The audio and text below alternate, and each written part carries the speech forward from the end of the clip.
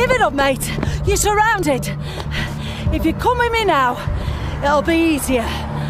Wait. No, no! Hello, Mr. Rogers.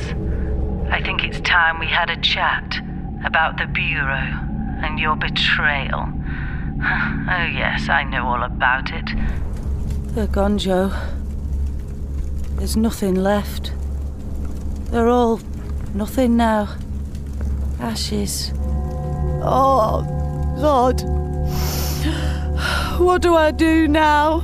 Well, well. Here, look what the cat's dragged in. Oh, don't be scared, sweetheart. I won't bite. Unless you pay us to, of course. Shit! They're, they're, they're breaking through! We need to secure this place right